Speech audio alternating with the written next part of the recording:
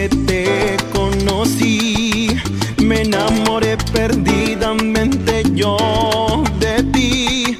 Pude describir lo que imaginé y supe que el destino me llevó hacia ti.